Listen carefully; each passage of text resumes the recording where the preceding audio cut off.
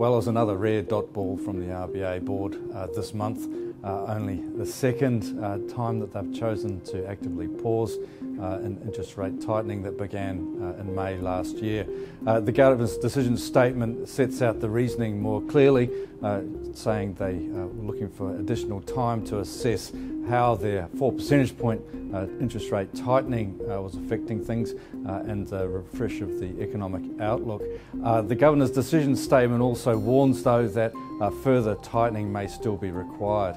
Uh, the next monthly meeting in August will follow important updates on CPI inflation, the June quarter update, which provides a much more thorough and clear information update around underlying inflation measures and the services components in particular. that'll be an important one leading into next month. Uh, we'll also get a refresh of the RBA staff's uh, forecast, the statement of monetary policy for August, uh, due out a few days later.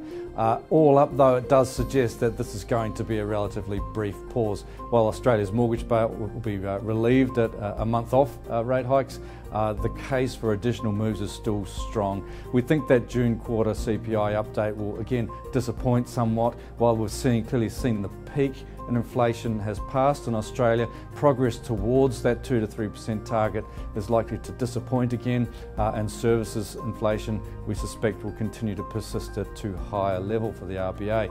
The focus is really shifting very clearly to that inflation threat, and uh, the risk here that uh, we see a more prolonged period of high inflation will be what we expect to see weigh on the uh, RBA in the next couple of months. As I said, we, we, see this as mainly a, a one month pause uh, with a further 25 basis point tightening in August and a final move in September, beyond which we'll see a more sustained period of rates on hold, eventually giving way to rate cuts next year from May on.